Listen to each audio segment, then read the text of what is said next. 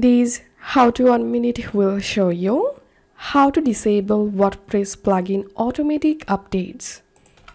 To disable the WordPress automatic theme plugin updates, follow this step-by-step -step guide.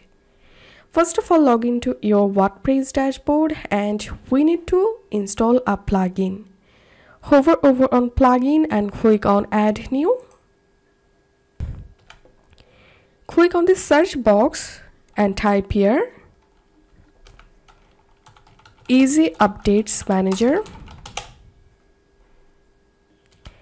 and this is the actual plugin we will install.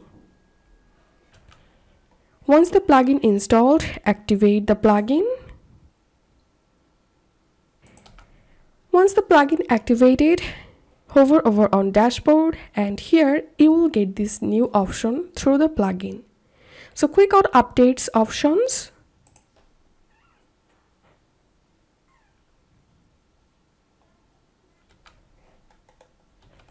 And here make sure to select the general option and to disable all updates like theme, plugin and everything, you can click on disable all updates. And if you want to disable only WordPress updates, then under WordPress core updates, select disable core updates. And to update your WordPress theme, under theme section, select disable theme updates. And we are going to disable plugin auto updates so under plugin updates select disable plugin updates.